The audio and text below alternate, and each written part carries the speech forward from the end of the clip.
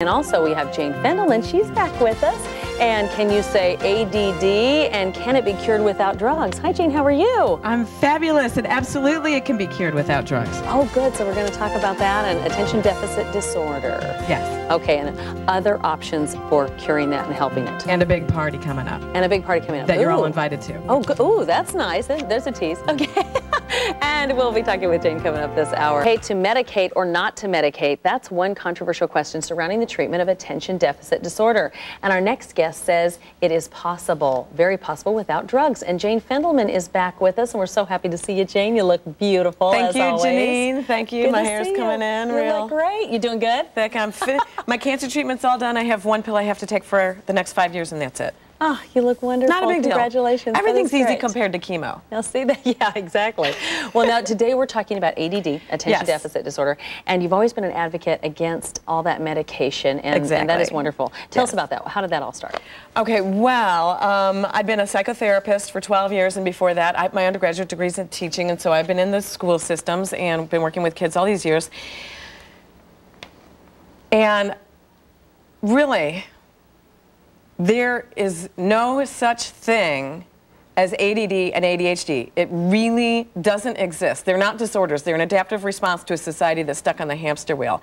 And it took cancer for me to really get the guts to come out and really say that. But in all the years that I've been a shrink and a teacher, I've never seen ADD or ADHD. They're symptoms for a thing that we call ADD and ADHD, but really it's so easy to cure and i've been helping families cure it within three to five counseling sessions for over 12 years and now we're having a big party a big event on sunday night which you're invited to and i made a dvd short that we could send around to new york, and california and help people know help get the message out and you're actually in this dvd Oh, really? you're in it.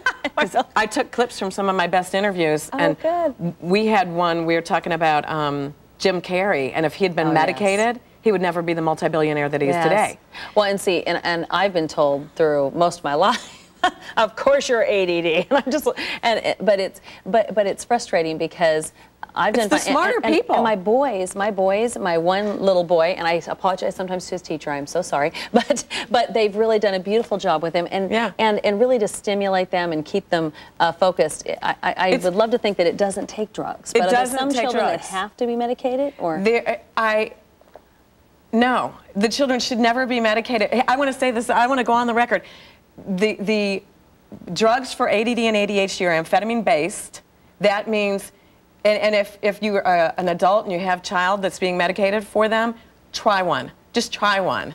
And it's exactly like speed or cocaine. That's exactly what it is. So they look calm on the outside and they're all racy on the inside. They can't eat, they can't sleep. It can stunt their growth. It can give them Tourette syndrome. It can create early onset of Parkinson's disease. It's like giving your child speed. Of course, they're going to study better. Yeah. If you took speed, you would study better. And if you took cocaine, you could sit in your seat and everything would be all interesting because you're all wackadoodle in your brain. Oh wow! Now, what are the things that we can do for our children? Wackadoodle in your brain. they- they- now, what are the things that we can do for our children? And I know uh, diet can help.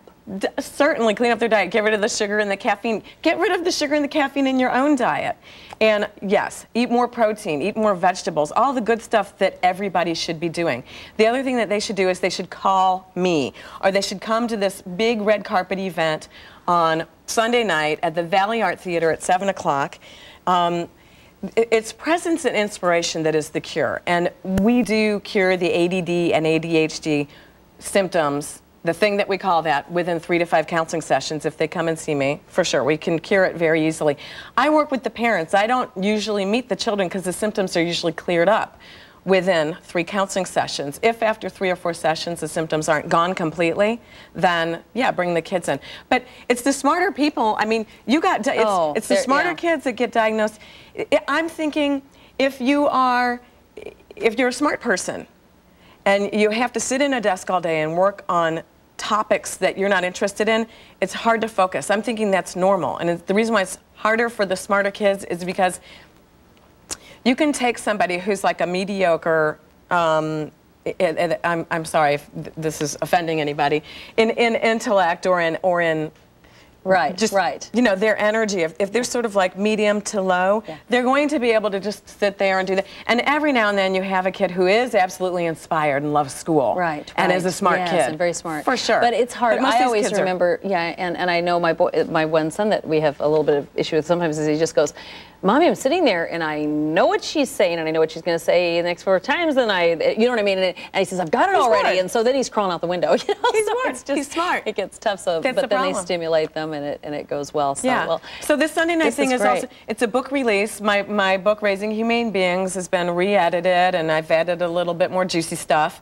and good. um, it's, so it's a re-release party. The DVD is short. It's a 23 minute DVD. So this is a red thank carpet you. event. You can dress up or not if you want to. Whatever Yeah. you want. Wear blue jeans or wear your gown. good. And you look beautiful today. You had some help from you said three My- guys. the guys, three young men in my bedroom this morning. Ryan, JJ, and um, Ryan, JJ, and Tony. And, uh, And you explain they do- they're doing some work in at your French house. They're, They're putting putting in French doors doors. in my bedroom.